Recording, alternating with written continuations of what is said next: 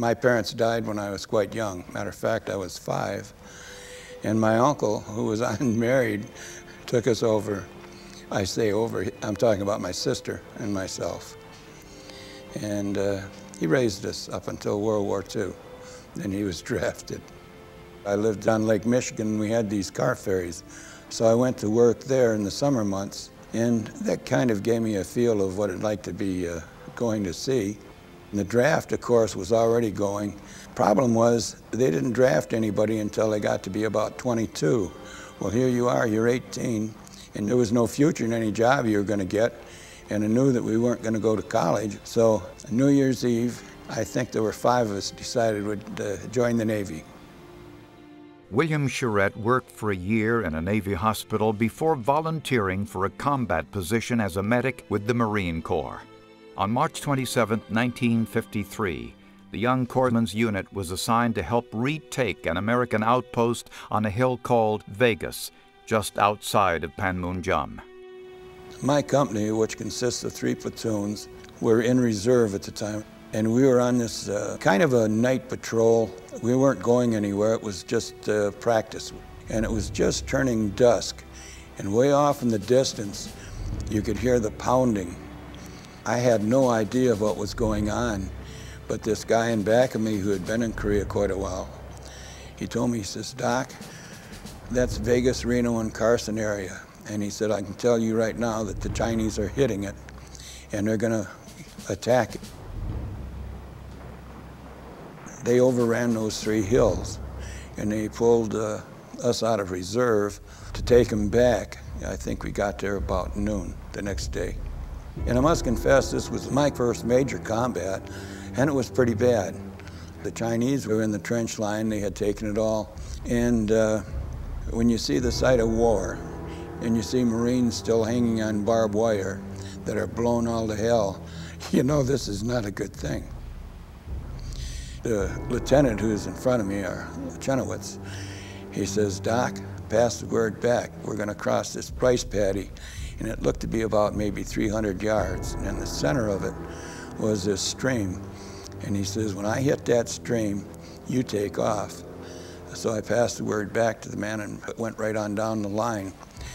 And I know that he hit that stream and I started and I nearly beat him across. And I'm not that fast, but just this was a terrible place to be because it was open to fire.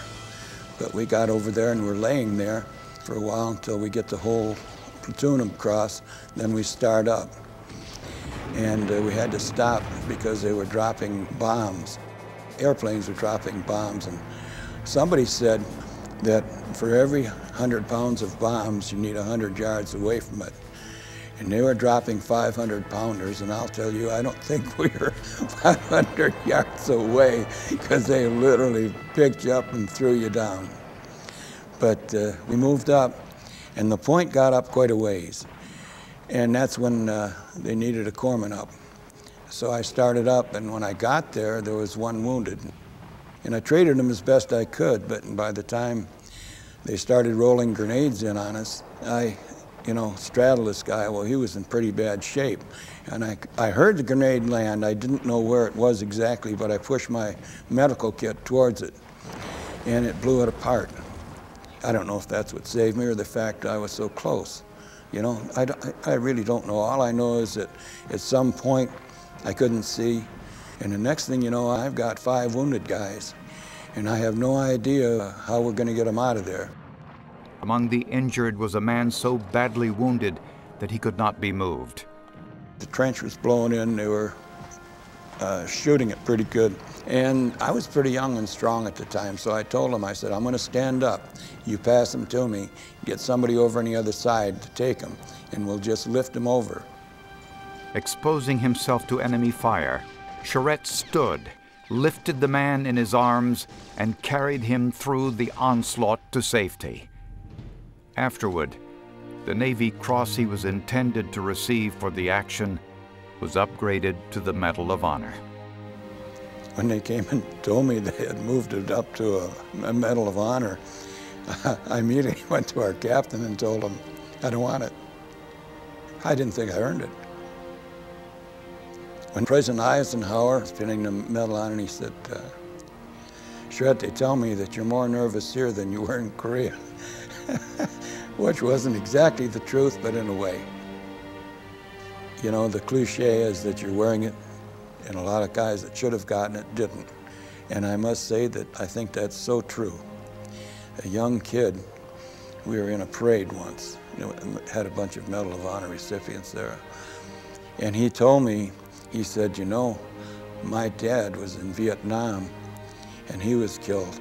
And I'm, he said, I'm pretty sure that he should have earned a medal. And I told him, well, I wear it for him then. You know, you do a job. I did mine as best I could. And that's all I'll tell you.